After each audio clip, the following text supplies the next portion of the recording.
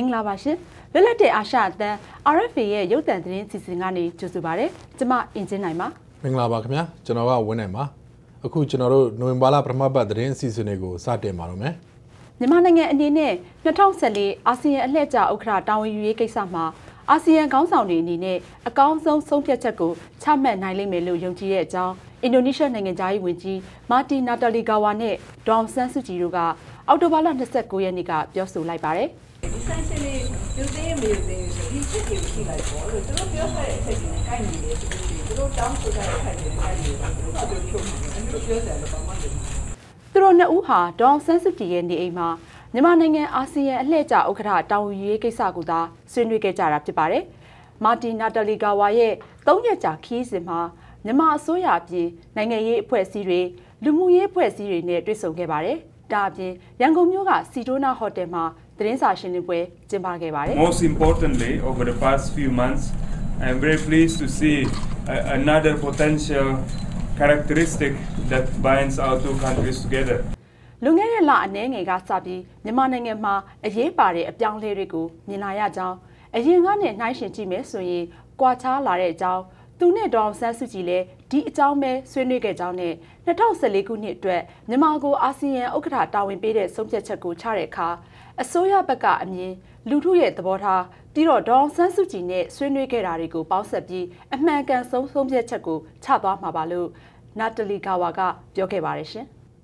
မြန်မာဒီမိုကရေစီကောင်ဆောင်ဒေါအောင်ဆန်းစုကြည်နဲ့မြန်မာအစိုးရကိုယ်စားလှယ်ဝန်ကြီးဦးအောင်ကြည်တို့အော်တိုဘာလ30ရက်နေ့ကတွေ့ဆုံခဲ့ပါတယ်တွေ့ဆုံရမှာ လွတ်လပ်စွာကုန်သွယ်ခွင့်နဲ့ငွေကြေးလက်ပတ်ခွင့်နိုင်ငံရေးကျင်းသားလူငင်းချမ်းသာခွင့်အပါအဝင်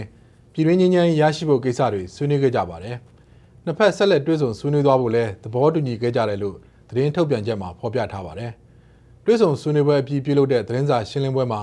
အမျိုးသားဒီမိုကရေစီအဖွဲ့ချုပ်အနေနဲ့ပါတီမှတ်ပုံတင်မဲ့ကိစ္စကိုနိုင်ငံရေးပါတီဆိုင်ရာဥပဒေသစ်တရားဝင်ထွက်လာပြီးမှသာအစည်းအဝေးခေါ်ယူပြီးအများသဘောတူဆုံးဖြတ်မှာဖြစ်တယ်လို့ဒေါအောင်ဆန်းစုကြည်ကပြောခဲ့ပါတယ်ခင်ဗျာ။ ဒေါအောင်ဆန်းစုကြည်ရဲ့ပြောဆိုချက်ထွက်ပေါ်လာပြီးတဲ့နောက်မှာ NLD ပါတီမှတ်ပုံမတင်သင့်ကြောင်းပါတီမြို့နယ်စီးနဲ့ပါတီဝင်တချို့ကသဘောထားတရက်ထုတ်ပြန်ပြီးတိုက်တွန်းလိုက်ပါတယ်။အမျိုးသားဒီမိုကရေစီအဖွဲ့ချုပ်ရှင်တန်ရက်တီရေးဆိုင်ရာသဘောထားဖော်ပြချက်ဆိုတဲ့ခေါင်းစဉ်နဲ့ထုတ်ပြန်တဲ့အဲ့ဒီသဘောထားကြေညာချက်ကို1990ရွေးကောက်ပွဲအနိုင်ရပြည်သူ့လွှတ်တော်ကိုယ်စားလှယ်2ဦးအပါအဝင် NLD ပါတီဝင်32ဦးတို့ကလက်မှတ်ရေးထိုးပြီး ဒေါအောင်ဆန်းစုကြည်နဲ့ဗဟိုအလုပ်မှုဆောင်တွေစီကိုပေးပို့ခဲ့ပါတယ်ရှင်။မြန်မာနိုင်ငံဟာအာဆီယံနိုင်ငံတွေထဲမှာပုံမတက်ကြွတဲ့အခမ်းကဏ္ဍကပါဝင်သင့်တယ်လို့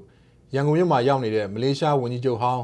ဒေါက်တာမဟာတီယာမိုဟာမက်ကနိုဝင်ဘာလ၁ရက်နေ့ကပြောပါတယ်။အာဆီယံအဖွဲ့ဝင်နိုင်ငံတွေအနေနဲ့ဒေသအကျိုးစီးပွားအတွက်တတန်တဲ့အတူတကွရှိကြမယ်ဆိုရင်ပိုပြီးအကျိုးများအောင်မြင်နိုင်မယ်လို့ရန်ကုန်မြို့ကုန်သည်ကြီးများဟိုတယ်မှာပြုလုပ်တဲ့စီးပွားရေးဆွေးနွေးပွဲမှာပြောဆိုခဲ့တာပါ။ နိုဝင်ဘာ2ရက်နေ့ညနေပိုင်းမှာမြန်မာဒီမိုကရေစီခေါင်းဆောင်ဒေါအောင်ဆန်းစုကြည်နဲ့ဒေါက်တာမဟာသီယာတို့ဟာရန်ကုန်မြို့ကုန်သည်ကြီးများဟိုတယ်မှာတွေ့ဆုံခဲ့ကြပါတယ်။မလေးရှားဝန်ကြီးချုပ်ဟောင်းဒေါက်တာမဟာသီယာဟာမြန်မာနိုင်ငံကုန်သည်ကြီးများနဲ့စက်မှုလက်မှုလုပ်ငန်းရှင်များအသင်းချုပ် UMFCCI ရဲ့ဖိတ်ကြားချက်အရမြန်မာနိုင်ငံကို၃ရက်ကြာခီးစဉ်ဖြစ်ရောက်နေတာဖြစ်ပါတယ်ခင်ဗျာ။ အောက်တိုဘာလ22ရက်နေ့ကမြန်မာနိုင်ငံအထက်ပိုင်းမကွေးတိုင်းပခုတ်ကူဒေသထဲမှာဖြစ်ခဲ့တဲ့ရေဘေးအတွက်အကူအညီမရောက်နိုင်သေးတဲ့နေရာတွေလည်းအများကြီးရှိသေးတယ်လို့သိရပါတယ်။လောလောဆယ်ကယ်ဆယ်ရေးအဖွဲ့ပေါင်းများစွာပခုတ်ကူကိုရောက်နေပေမဲ့လမ်းပန်းဆက်သွယ်ရေးအခြေအနေကြောင့်မြို့နယ်တချို့ကိုတွားရောက်နိုင်ခြင်းမရှိဘူးလို့သိရပါတယ်။ရေဘေးကြောင့်ပခုတ်ကူမြို့နယ်အတွင်းရွှေချောင်းတလျှောက်နဲ့မကွေးတိုင်းစိတ်ဖြူမြို့နယ် ပေါက်မြို့တွေကဒေသတချို့မှာရွာလုံးကျွတ်မျောပါသွားတာတွေရှိပါတယ်။အဲ့ဒီဒေသမှာရေကြီးတာကြောင့်တရွာလုံးသဲပြင်ကြီးလုံးလုံးဖြစ်သွားတာလည်းရှိတယ်လို့မျက်မြင်သက်သေတွေကပြောပါတယ်ရှင်။ကမ္ဘောဒီးယားနိုင်ငံကရေဘေးသင့်ပြည်သူလူထုအတွက်မြန်မာအစိုးရကအရေးပေါ်အကူအညီပစ္စည်းတွေကိုနိုဝင်ဘာလ3ရက်နေ့ကပေးပို့ခဲ့ပါတယ်။ကမ္ဘောဒီးယားနိုင်ငံဖနွန်ပင်လေဆိပ်ကိုရောက်လာတဲ့မြန်မာတပ်မတော်လေအရေးပေါ်ကယ်ဆယ်ကူညီရေးလေယာဉ်မှာအလေးချိန်၈တန်ကျော်ပါဝင်တဲ့အကူအညီပစ္စည်းတွေပါဝင်ပါတယ်။ အဲ့ဒီအကူအညီတွေထဲမှာခောက်ဆွဲနဲ့တောက်ရည်တန်းနဲ့တခြားပစ္စည်းတွေပါဝင်ပါတယ်။ဒီနှစ်ဩဂုတ်လကတည်းကကမ္ဘောဒီးယားနိုင်ငံကမြို့ကြီး18မြို့နဲ့ပြည်နယ်တချို့မှာရေဘေးအန္တရာယ်နဲ့ကြုံတွေ့နေရတာပါအနည်းဆုံးလူ250ပတ်ဝန်းကျင်သေဆုံးခဲ့ရပြီးလူတသန်းခွဲလောက်ရေဘေးဒုက္ခနဲ့ကြုံတွေ့နေရပါတယ်ခင်ဗျာ